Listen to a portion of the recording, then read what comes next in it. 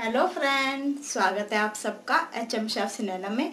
आज मैं आप सबके लिए एक नया टॉपिक लेकर आई हूँ, जिसका नाम है कंज्यूमे तो आज हम कंज्यूमे के बारे में बात करेंगे तो इस वीडियो को आप एंड तक ज़रूर देखिए। तो चलिए स्टार्ट करते हैं। आप सोचते हो कि ये कंज्यूमे सूप है क्या? ये जो सूप है, एकदम क्रिस्टल क्लियर बनता है। और ये बनता है कैसे इसके बारे में मैं आपको बताऊँगी। और ये आपको एक बात और क्लियर कर देती हूँ। जो ये सूप है, ये फ्रेंच में ज़्यादा इस्तेमाल होता है।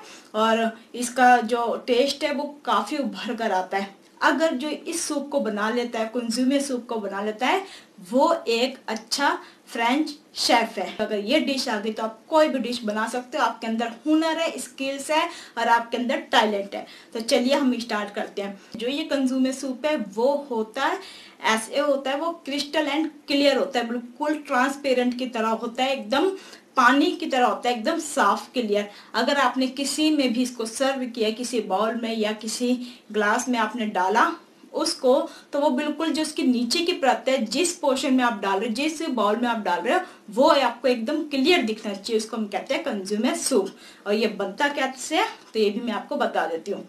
कंज्यूमर सूप बनाने के लिए आपको ज़रूरत पड़ती है स्टॉक की। तो आपको स्टॉक बनाना पड़ेगा और आपको ये ध्यान रखना है, जिस दिन आपको ये कंज्यूमर सूप बनाना है, एक दिन पहले ही आपको जो है, आपके पास स्टॉक होना चाहिए।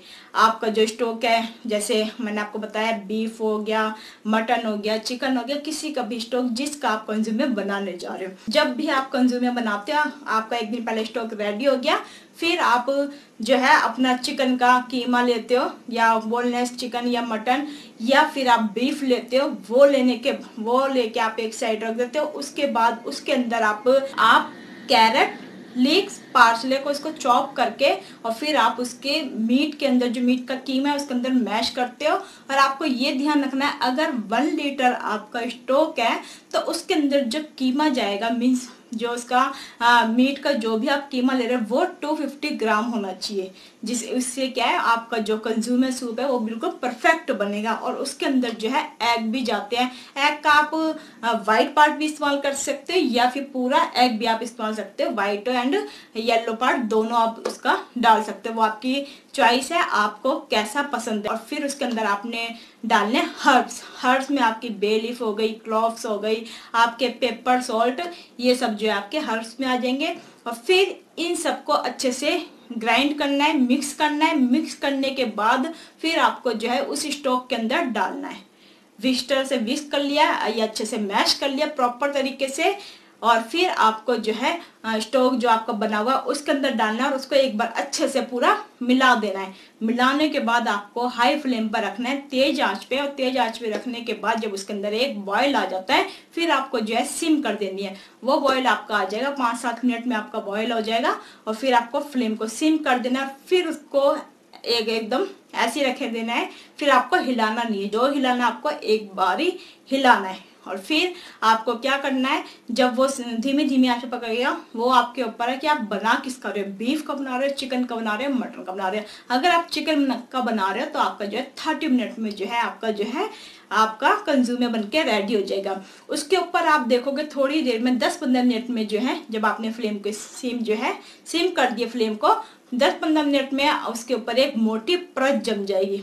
जैसे वो मोटी परत जमे आपको क्या करना है अनियन लेना है, अनियन के आपको जो है जैसे उसके स्प्रिंकल निकालने मीन्स उसके लच्छे निकालने लच्छे निकालने के बाद उसको आपको किसी भी पैन पर रोस्ट करना है।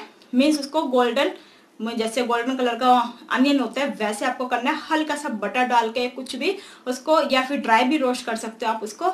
वो रोस्ट करने के बाद जब उसका कलर आ जाए ब्राउनिश कलर वो आपको क्या करना है, जो परत है, ऊपर आपने जो अनियन को ब्राउन करा है, उसके ऊपर आपको डाल देना है। उससे क्या फ्लेवर और टेस्ट बहुत ही अच्छा आएगा।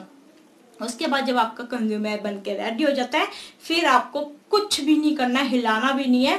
अगर आपने हिलाया तो उसके जो है लिंक्स टूट जाएँगे। मीन्स जो आपका चिकन और मटन एकदम अच्छे से ऊपर आया तो उसकी परत जम गई थी, एक अच्छी सी, वो टूट जाएगी और आपका कंज्यूमर सूप खराब हो जाएगा। आपको एग्जिटिक ऐसे करना है, जैसी बना उसको एकदम से छान के किसी पोर्शन में डाल देना है।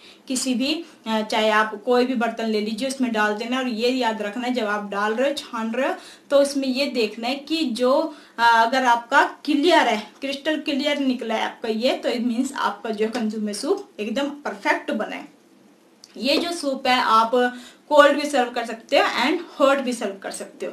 तो आई होप आपको पता चल गया हमारा कंज्यूमर सूप कैसा होता है और इसको हम कैसे बना सकते हैं। अगर आपने कंज्यूमर सूप जो है परफेक्ट बना लिया, आप एक कॉन्टिनेंटल के परफेक्ट शेफ है। तो अब हम इस वीडियो को यहीं पर समाप्त करेंगे। अब हम नेक्स्ट वीडियो मिलेंगे नए टॉपिक के साथ। जब तक के लिए नमस्कार, सत श्रीकाल and bye bye take care